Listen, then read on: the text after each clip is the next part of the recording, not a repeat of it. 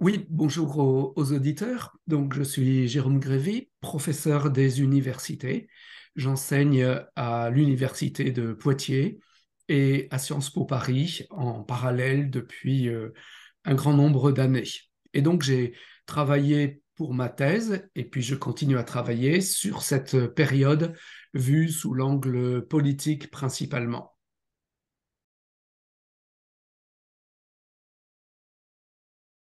La guerre, appelée souvent euh, guerre de 1870, est une guerre dont la première caractéristique, c'est qu'elle a été rapide. Elle a commencé euh, fin juillet, les combats réels euh, en août. Elle est terminée tout début 1871. Donc c'est une guerre de mouvement. Une guerre de mouvement, ce qui est en contradiction avec ce que seront les guerres du XXe siècle. Et il y a déjà eu des guerres de tranchées, la guerre de Crimée notamment, mais celle-là ne l'est pas du tout. Donc guerre de mouvement et aussi guerre de bombardement, et notamment bombardement de villes. On ne l'a pas inventé non plus au XXIe siècle. Euh, les Allemands ont bombardé Strasbourg, ils ont bombardé Paris. Voilà, c'était la pratique des sièges. Les sièges ont été rapides. Euh, quand on dit bombardement, ça veut dire que euh, c'était aussi les civils qui étaient des, victimes. Il y a eu aussi des civils qui ont été euh, du côté français, puisque ça a été une invasion de la France, du côté de la résistance, notamment ceux que l'on appelait les francs-tireurs, donc appartenaient pas forcément à des corps d'armée, d'autant que l'armée a, été très désorganisée et qui ont euh, harcelé les troupes prussiennes, bavaroises, et ceci n'était pas du tout apprécié des Allemands, qui au contraire avaient mis au point euh, des corps d'armée très disciplinés, très efficaces. Donc voilà, c'est les caractéristiques de ce conflit que l'on peut voir à, l'aune de l'ensemble du siècle, à la fois comme un, héritage des guerres de mouvement napoléoniennes, et puis euh, euh, aussi des prémices des bombardements de civils et de l'intégration des civils dans les conflits.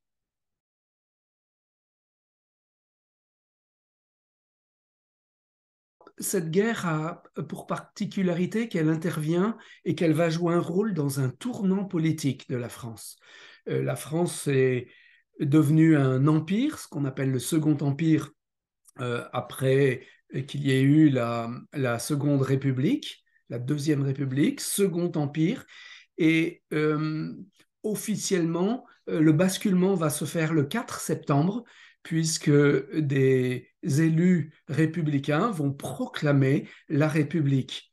Donc c'est un tournant qui va accélérer une mutation qui est déjà euh, en cours. Ensuite, au point de vue économique, euh, je dirais volontiers que la France est dans une phase de prospérité. Le Second Empire a été une période d'entrée dans la deuxième phase de l'industrialisation, euh, et pour toutes sortes de raisons, ça a été une période de, prospérité, d'urbanisation, d'échanges extérieurs. Euh, c'est ce qui parfois a été appelé la fête impériale. C'est un historien qui avait choisi ce nom-là, puisque comme dans les périodes de prospérité, on oublie la prudence, on dépense beaucoup. Euh, Paris a été transformé complètement. On a percé des rues. On n'a pas encore eu le temps d'aménager les nouvelles rues. Euh, on l'oublie trop souvent euh, du côté de l'histoire officielle, mais euh, c'est un grand chantier. Donc, c'est un, changement important. Il y avait déjà une tendance vers une démocratisation plus accentuée, puisque depuis le début de 1870, Napoléon III appelait comme Premier ministre un républicain qui s'appelait Émile Olivier. Et euh, Napoléon III, d'ailleurs, qui sincèrement avait été plus proche des idées euh, euh, sociales, démocratiques, voulait libéraliser le, Second Empire. Émile Olivier n'a pas eu le temps de le faire puisque tout s'est précipité, mais le Second Empire est quand même très populaire. Les derniers plébiscites qui ont eu lieu, c'est le nom qu'on utilisait plutôt que référendum, ont donné un une très très large majorité au oui pour les réformes que proposait Napoléon III. Donc à la fois au point de vue économique, il y a cette tendance de prospérité alors qu'il y aura dans les années 1880 une, une phase de récession à l'échelle de, l'Europe. Et puis au point de vue politique, voilà une tendance globale euh, à euh, libéraliser l'Empire. Et euh, cette, ce choix de Émile Olivier comme Premier ministre en est significatif. il ne s'en remettra pas politiquement, puisque du coup, les républicains ne lui pardonneront jamais d'avoir accepté cette cohabitation, on pourrait dire, c'est un terme du, de la fin du XXe siècle, cette cohabitation. Et comme il était historien, il a passé le reste de sa vie à écrire l'histoire de l'Empire libéral, en sept volumes, je crois. Mais ça, c'est un autre sujet sur euh, cette affaire.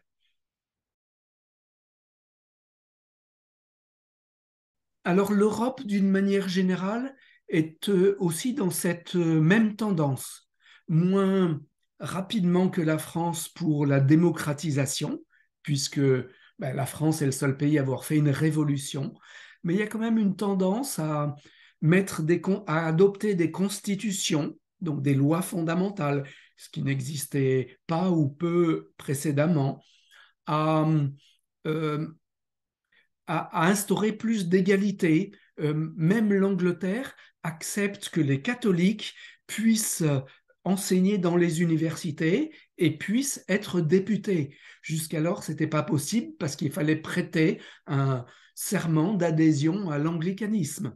Donc c'est une tendance euh, longue.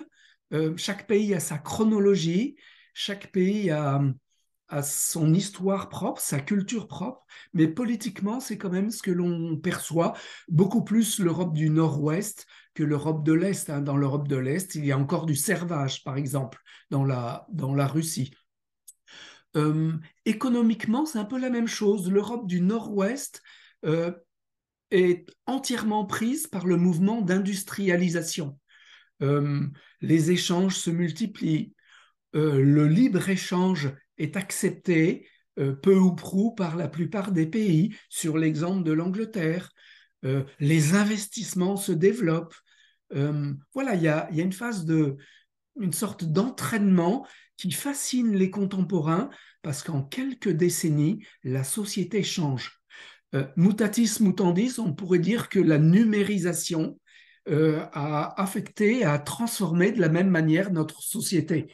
Moi qui suis né au siècle dernier, au XXe siècle, vous dire que vraiment, la manière d'enseigner, la manière d'écrire, la manière de, vivre en société, et ce podcast en est un exemple, a profondément changé. Donc au 19e siècle, c'est plus pour le, le fait que l'industrialisation et son corollaire, l'urbanisation, ont vraiment changé euh, le, le, mode de vie, les relations sociales et euh, le cadre matériel de la société.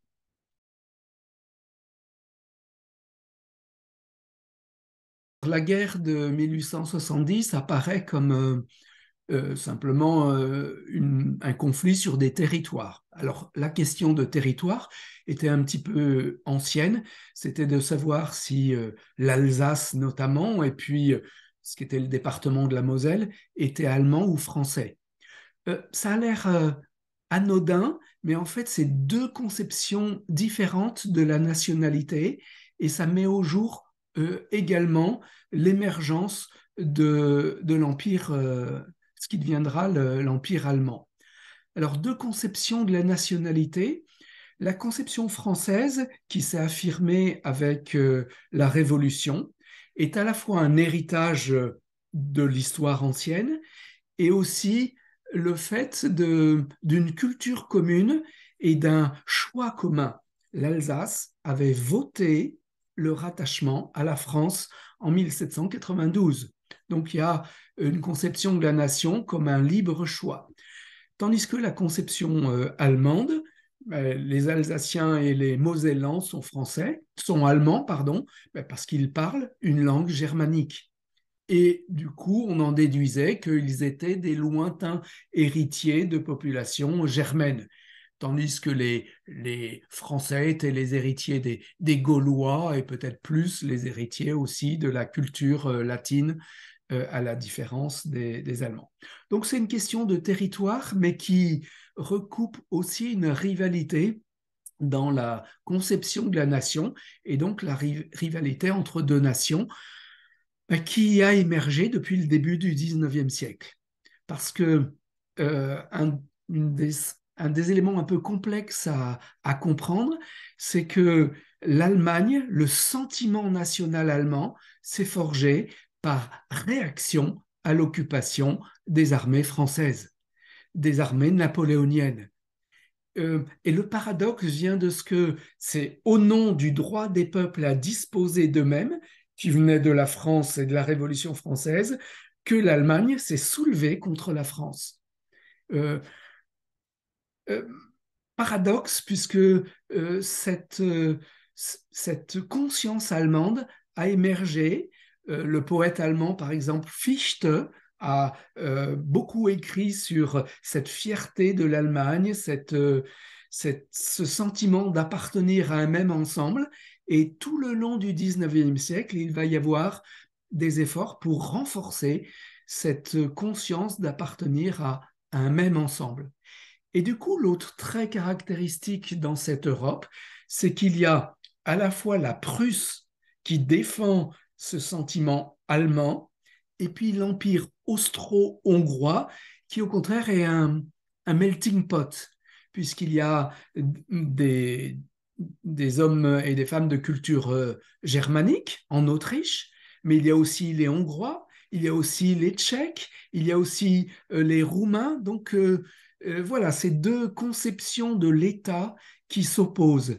Et la Prusse va peu à peu s'efforcer de faire cette unité. C'est elle qui a pris euh, la tête de la coalition contre la France du temps de Napoléon, et puis elle se renforce et elle a vaincu les Autrichiens à Sadova en 1866. Et ça a été un choc pour l'opinion publique, et c'est en partie ce qui a suscité euh, de la part des bonapartistes de Napoléon III la volonté de montrer que ben, finalement c'était la France qui était la plus forte. Et c'est pour ça que la France a déclaré la guerre. Il y, avait des vats en guerre euh, dans l'entourage de Napoléon III euh, qui pensaient que justement, si c'était Napoléon III, en raison de la légende euh, de Napoléon Ier, il fallait qu'on remporte de grandes victoires. Il y avait eu un échec pitoyable dans la tentative de, conquête du Mexique. Et là, c'est pour montrer à ces Prussiens qu'on était les plus forts. Ben, on a montré que l'armée française n'était pas la plus forte et qu'elle s'était très mal préparée à cette guerre.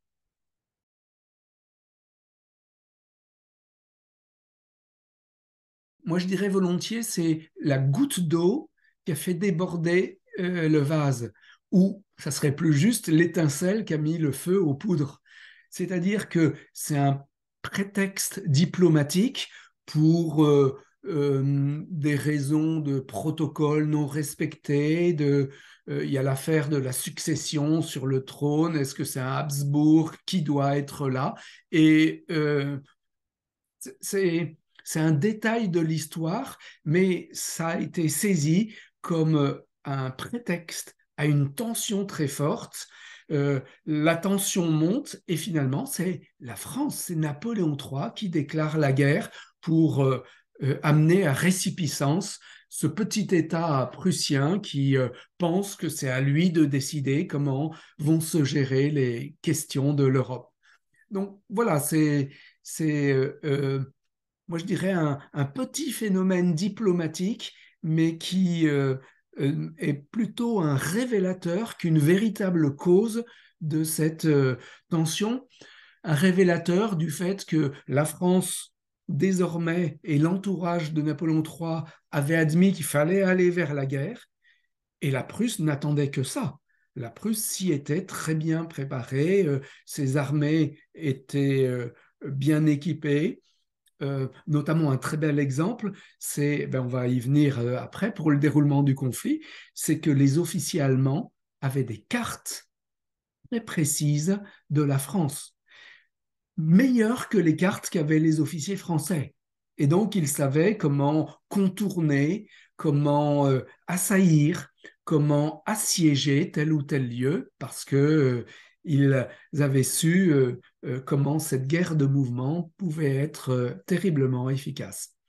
Donc voilà un, micro-événement, mais qui est le déclencheur et qui va amener à ce que j'ai appelé tout à l'heure à la fois une guerre de mouvement et puis une guerre de, pilonnage de certaines villes.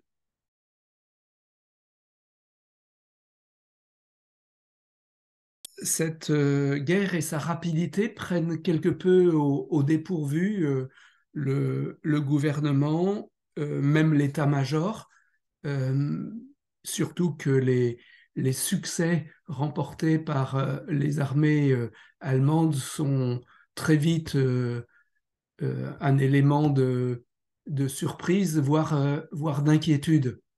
Donc il y a tout, un, tout un ensemble qui amène à, des décisions qui peuvent sembler surprenantes. Donc les armées pénètrent en France par le nord-est. Donc c'est là qu'ont lieu les, les premiers combats.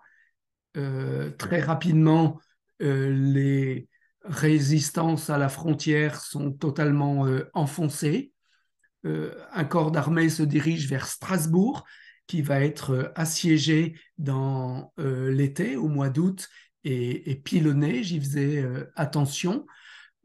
plus au nord, c'est par Sedan que les armées prussiennes vont passer après avoir enfoncé à Forbach. Euh, voilà, donc c'est euh, un rideau défensif qui était trop, faible et qui est euh, enfoncé. Les lieux de résistance sont contournés ou bien sont obligés de se replier, sont, sont débordés. Et il y a une invasion.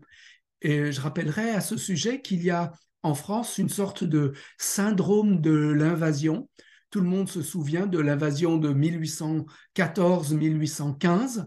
Euh, ça a été un choc puisque la France avait envahi. La France avait, même sous Napoléon, euh, été jusque euh, territoire de la Russie. Elle se croyait toute puissante, capable de constituer un empire continental gigantesque.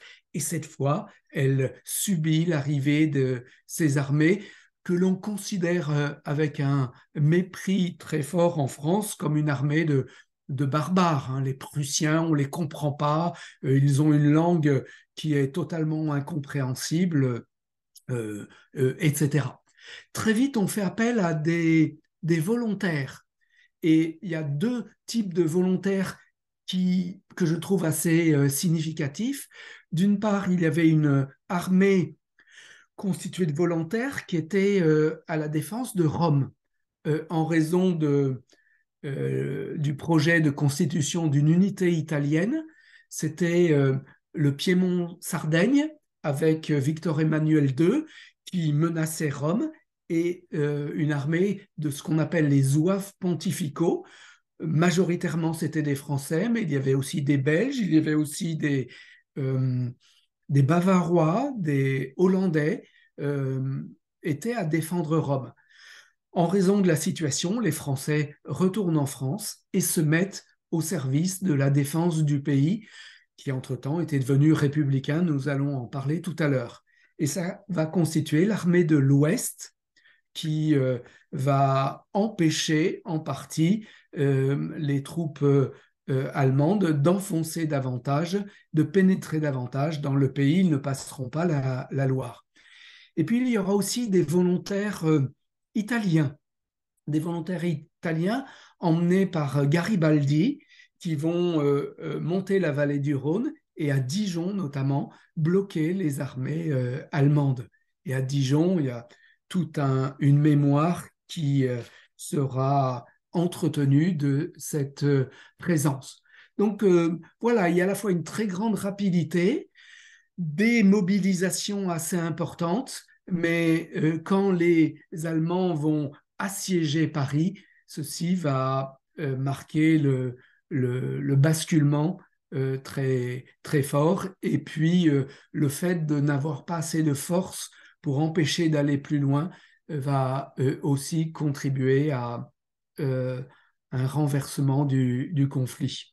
Donc il y a toute une série de, batailles qui, dans les, les protocoles de euh, de l'armée sont toujours euh, entretenus. Il y a un musée de la dernière cartouche à, Sedan qui est entretenu par l'armée. Hein. C'est l'armée qui est chargée de, d'entretenir et de mettre en valeur ce, musée. Mais euh, voilà, il y a de multiples petits lieux de, bataille. Peut-être je citerai un autre qui est dans un lieu qui est un peu au nord d'Orléans il y a une bataille euh, dans la plaine de la Beauce à Loigny, qui aujourd'hui s'appelle Loigny-la-Bataille. Parce que les, les volontaires français, qui vivaient un petit peu la guerre comme une guerre du, Moyen Âge, euh, pensaient qu'il suffisait d'être ardent et combatif pour arrêter les ennemis. Et face au rouleau compresseur euh, allemand, ils ont été massacrés. Il y a eu des, plusieurs euh, centaines de morts. Et Loigny de la, bataille, est un lieu de, commémoration de, ces, vaincus, de ce massacre. Il y a un des premiers ossuaires de l'époque contemporaine qui est dans la crypte de Loigny la, la bataille. Et il y a euh, chaque année un souvenir de la bataille. C'est en décembre, la bataille euh, qui s'est produite dans cette plaine de la, de la Beauce voilà, il y a tout un ensemble de batailles euh, emblématiques. Euh, une de l'été, c'est la bataille de Reichshofen, qui était en, Alsace, et il y a, tout euh, un répertoire qui rappelle ces, combats héroïques qui sont, qui sont rappelés.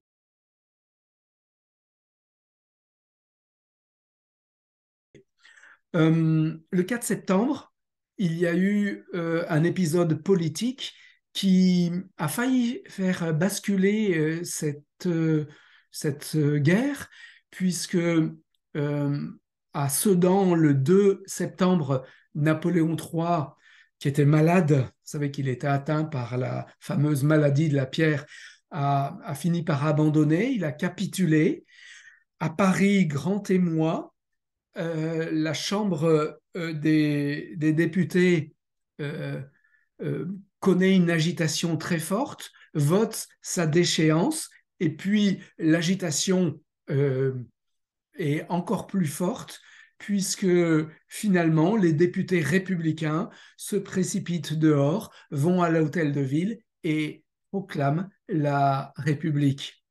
Et donc la défense va être prise en charge notamment par Gambetta, euh, et Gambetta est un jusqu'au boutiste il va aller jusqu'au bout. Pour lui, la capitulation est impossible parce que impensable. Et là, c'est la tradition euh, de, la Révolution qu'il reprend, puisque c'est un républicain qui est nourri de cette histoire, mais il, fait alliance avec euh, les courants plus conservateurs en disant que la priorité, c'est de défendre la, la patrie. Et donc, euh, il euh, s'agite, il va sur les lieux, euh, il est secondé par un ingénieur qui s'appelle Fraissinet. Je cite son nom parce qu'après, il va être député et, ministre à plusieurs reprises. Malgré toute son énergie, finalement, euh, il y aura une, une capitulation au mois de janvier parce que les Allemands vont faire pression sur Paris et vont exiger que soit élue une assemblée qui sera chargée de, négocier. Euh, Gambetta refuse et sous la pression, d'ailleurs, il va s'exiler parce qu'il aura peur d'être euh, d'être emprisonné. Il va aller à Saint-Sébastien en, en Espagne. Une assemblée est élue, il y a un cessez-le-feu pour permettre ces élections. Euh, l'Assemblée n'est pas du tout représentative réellement de l'opinion publique mais elle va négocier euh, cette, euh, euh, cette issue de la guerre et admettre que l'Alsace et une partie de la Lorraine seront cédées à, à l'Allemagne, puisqu'entre-temps, l'Allemagne a été proclamée à Versailles. Et donc là aussi, c'est un des paradoxes que cette guerre a permis l'unité de l'Allemagne et c'est à Versailles qu'elle a été euh, proclamée. Et Bismarck, j'ai oublié de le citer tout à l'heure, qui était euh, euh, à l'origine de la guerre, qui est, qui est, un militaire et qui a coordonné l'ensemble du mouvement, va contribuer à cette proclamation de, de l'Allemagne. donc perte de territoire, une indemnité très lourde à payer, 5 milliards de francs or, et la France est occupée jusqu'à ce que l'indemnité ait été payée. Il y a un calendrier et une, géographie assez complexe. Hein. Les détails ne nous intéressent pas ici, mais c'est vraiment une véritable défaite. Et il y aura d'ailleurs toute une enquête pour déterminer qui sont les responsables. Les républicains pensent que c'est Napoléon III à cause de l'impréparation. Les conservateurs pensent que c'est les républicains qui n'ont pas su prendre en main et euh, la proclamation de la République, pour eux, a été la cause du désordre qui a empêché de vraiment euh, coordonner euh, cette, cette dernière phase de la guerre. Aujourd'hui, les spécialistes disent que c'est plutôt l'impréparation militaire qui en a été à l'origine et que les événements politique ne semble pas avoir été majeur dans ceci, mais euh, voilà, c'est euh, moi j'en suis pas spécialiste, donc c'est euh, des choses qu'on pourrait regarder de, de plus près.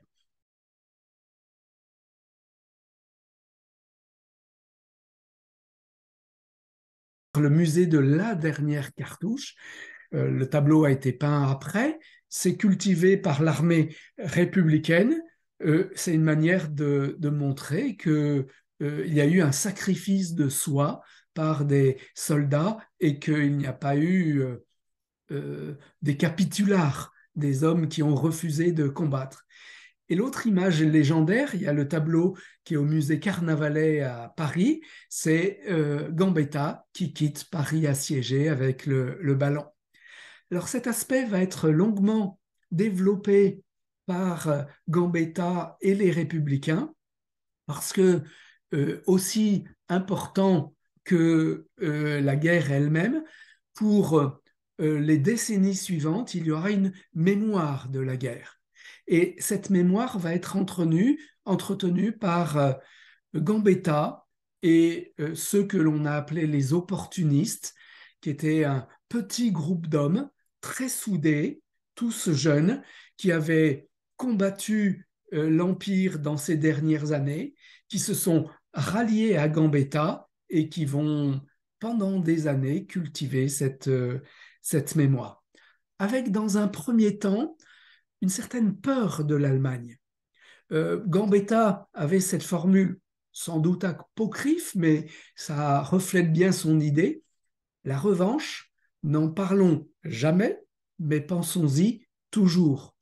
C'est-à-dire que euh, à la fois il y a une peur de l'Allemagne qui est menaçante et dont on pense qu'elle risque de pénétrer de nouveau en, France et peut-être de prendre d'autres territoires. Donc il ne faut pas en parler. Il ne faut pas sembler être euh, euh, nourri par l'idée de défense. Alors qu'il y a un gros, gros travail de réarmement de la France qui est commencé dès ces années-là euh, donc, même du temps où ce ne sont pas les républicains qui sont au pouvoir, dans les années 70 jusqu'à 1877-78, c'est plutôt des milieux conservateurs, des libéraux conservateurs, euh, même s'ils ont l'étiquette euh, de républicains de droite, ou centre droit plutôt, qui est leur étiquette officielle au Parlement voilà, ils mettent en route toute une politique de, réarmement, de construction, de renforcement des frontières euh, qui va perdurer jusqu'à la Première Guerre euh, mondiale. Mais dans le même temps, euh, il va y avoir tout un travail de, de sorte de préparation des esprits à cette guerre de revanche qui devra venir un jour. Et là, il y a une sorte de, de rencontre entre les milieux républicains, euh, les milieux libéraux, euh, avec ce que j'appelle très souvent le syndrome de la défaite et qui va nourrir un état d'esprit du national-républicanisme.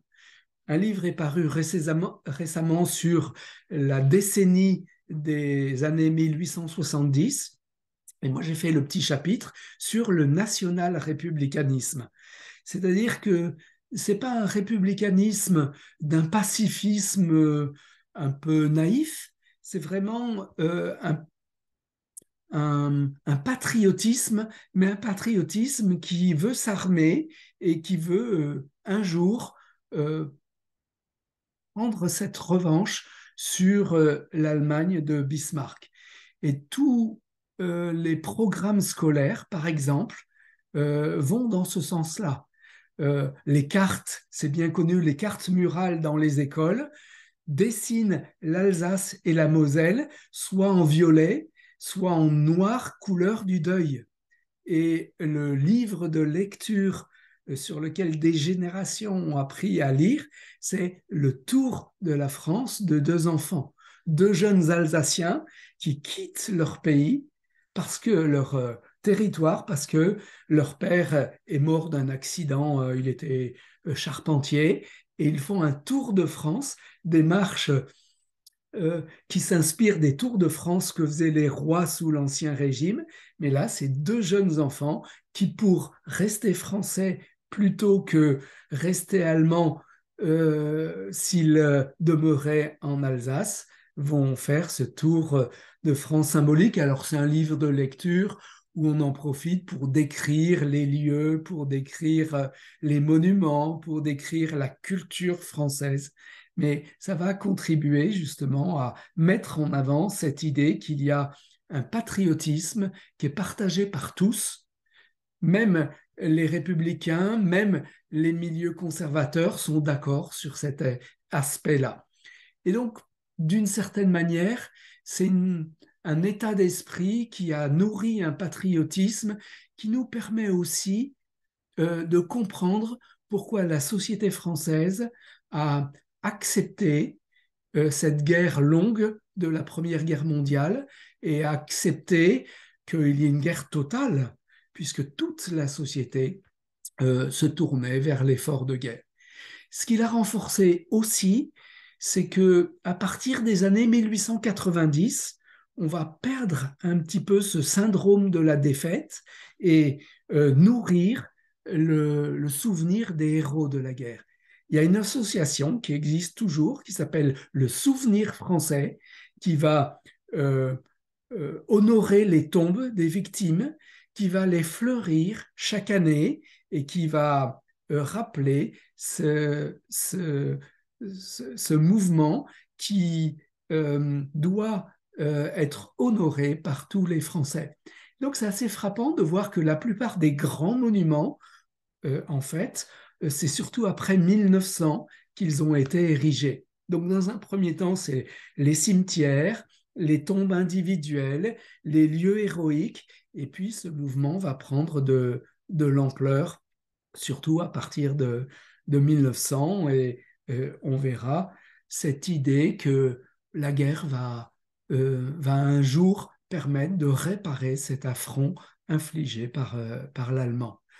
Il y a beaucoup de textes qui me persuadent vraiment qu'à partir surtout de 1905, il y a euh, la certitude que, que l'on va vers cette guerre et que non seulement c'est inévitable, mais peut-être souhaitable. Donc, de même que j'avais dit que la guerre de 70 est l'issue d'un long processus, euh, elle n'est pas survenue du jour au lendemain, eh bien, l'après-guerre euh, euh, est une sorte de d'antichambre ou de préparation à la Première Guerre mondiale. Et d'ailleurs, même De Gaulle, dans ses mémoires, dit que c'était une guerre de, de 30 ans, cette guerre, ou même 40 ans, qui va de, de la guerre de 70 à la, à la Première Guerre mondiale. Donc c'est un seul ensemble ce qu'on a un peu oublié, parce qu'aujourd'hui, on couple la Première et la Deuxième Guerre mondiale, mais euh, pour moi, il faut pas du tout oublier cette Première Guerre mondiale qui est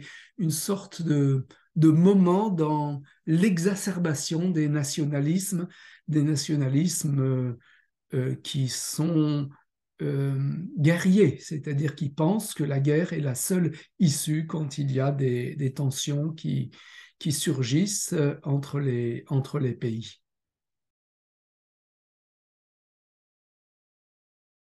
La guerre a aussi donné lieu à un événement qui a fortement marqué l'histoire de France, qui a un aspect très emblématique, c'est ce qu'on appelle la Commune de Paris.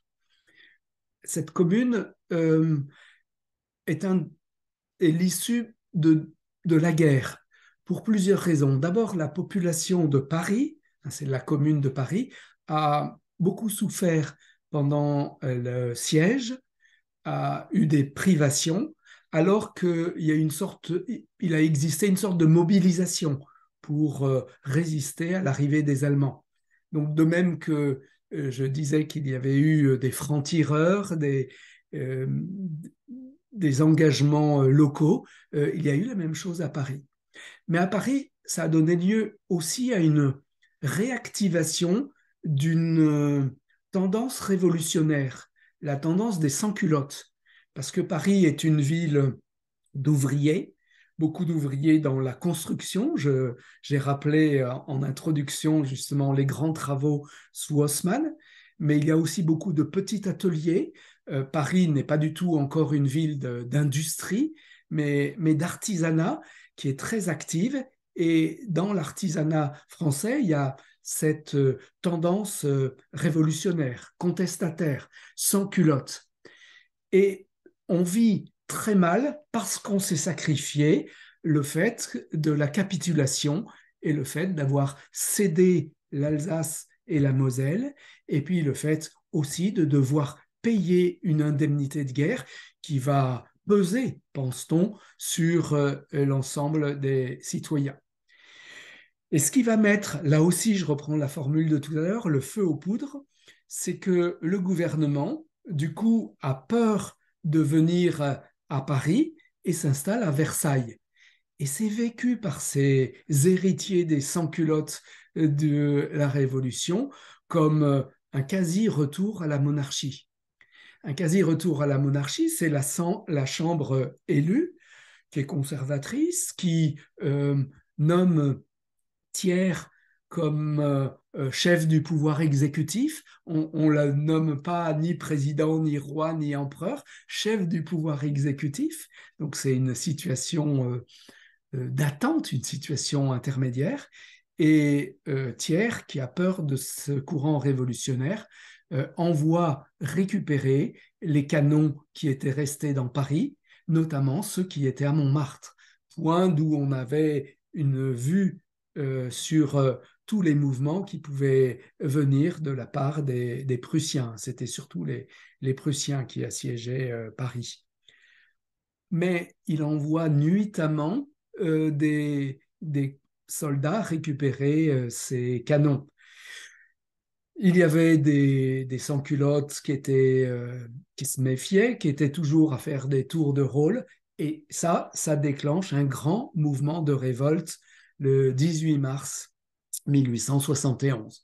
Et ça provoque euh, une, euh, un incendie. Hein. Je disais tout à l'heure le terme d'étincelle, c'est vraiment un incendie euh, qui va prendre à partie les, les libéraux, prendre à partie l'Église, qui va déclencher ce mouvement d'érection de, de barricades. On, on fait une défense spontanée de Paris contre les Versaillais. Il y aura un mythe négatif des Versaillais. Et on se rappelle que c'était les Parisiens qui avaient été chercher le roi, la reine à Versailles. Voilà, il y a tout un légendaire. il va y avoir deux mois révolutionnaires, puisque la commune de Paris, ce sera un gouvernement révolutionnaire euh, qui euh, est un peu inspiré d'une sorte d'autonomie euh, d'une sorte de ce qu'on appelle aujourd'hui une participation active des citoyens. On discute, on fait un gouvernement provisoire, chacun a le droit de donner son avis. Et puis, euh, il y a euh, également une défense armée par des barricades qui s'instituent. Alors, dans le légendaire français, ça prend la forme soit d'un courant révolutionnaire très sanglant, puisqu'il y a eu des, des otages qui ont été euh, abattus, soit euh, dans le légendaire plutôt de la gauche, c'est un mouvement de, de répression terrible, puisque les armées versaillaises vont euh, rue par rue, barricade après barricade, reconquérir Paris. il y aura des, des, exécutions sommaires, il y aura des procès parfois des parodies de procès, et puis des déportations, des exils, euh, toutes sortes de, répressions. Donc un mouvement très court dans le temps, mais qui a pris euh, une, une forme très, très forte pour ou contre dans les cultures politiques françaises, euh, soit du côté de, de la droite plutôt traditionnelle, soit de l'autre côté de, du côté des républicains radicaux. Les modérés étaient plutôt euh, euh, distants vis-à-vis de ce mouvement, donc euh, les, centristes sont restés centristes et ont regardé faire. Hein. C'est plutôt les extrêmes qui ont combattu et après qui ont cultivé une mémoire très, très virulente. Donc, je n'ai pas le temps de rentrer dans, dans les détails plus avant, mais ça nous montre aussi que dans cette mémoire de la guerre, il y a cet euh, événement de la commune qui est directement lié à, la guerre dans la manière dont ça s'est passé et puis euh, euh, également dans la répression qui s'est organisée par la suite.